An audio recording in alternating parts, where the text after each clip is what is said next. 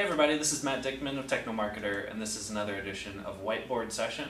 Uh, this is a series where I take you through some of the jargon and more complicated terms that are thrown around from a uh, marketing perspective, leveraging technology. And today we're going to take a look at Ajax.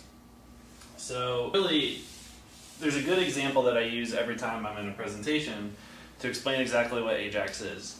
So let's say basically you're doing your taxes. Everybody knows how to do this.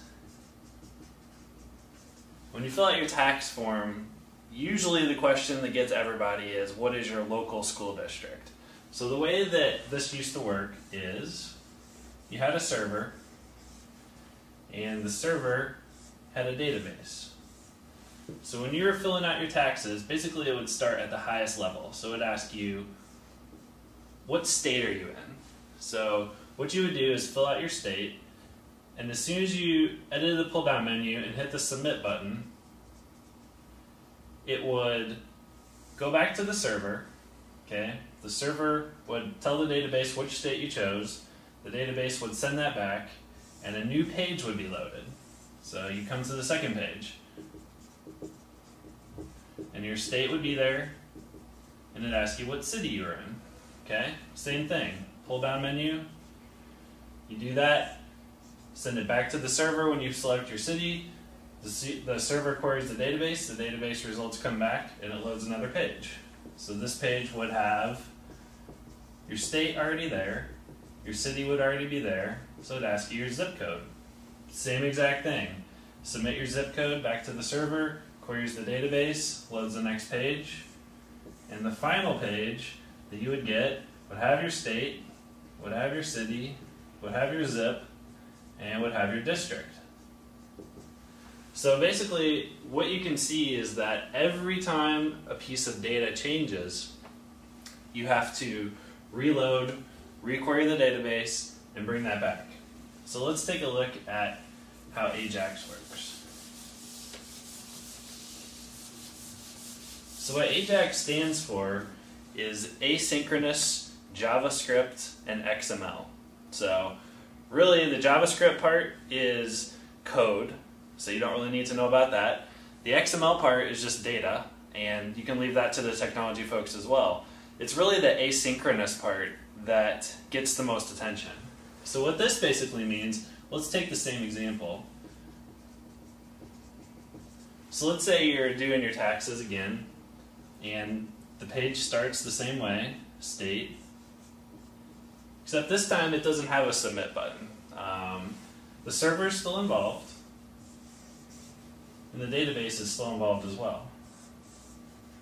So basically what happens now is as you start, let's say you go through your state, you hit O when you pull the pull down menu.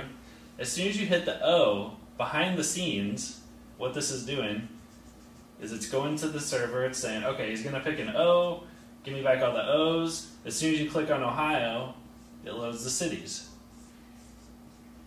So without the page changing, it's loading data behind the scenes. So that's the asynchronous part, in that um, you know all of that kind of processing that's happening with with all of the fields is happening without having to reload a page, which is what makes Ajax look really smooth.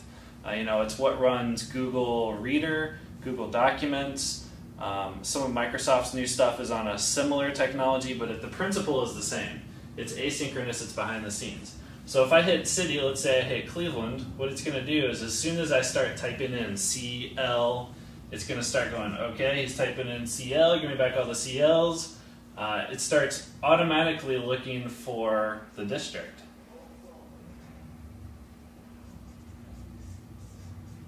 So that as soon as I hit Cleveland, my districts have already loaded in the background. And um, so that's really what the asynchronous part means.